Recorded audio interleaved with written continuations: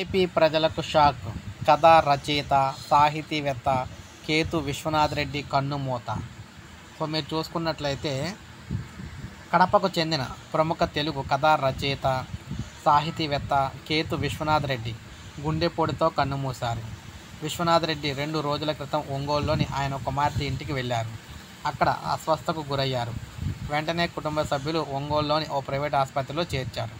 అక్కడ చికిత్స పొందుతూ ఇవాళ తెల్లవారుజామున చనిపోయారు. నా గుండెపోటుతో ఆయన తుది శ్వాస అయితే విడిచారన్నమాట.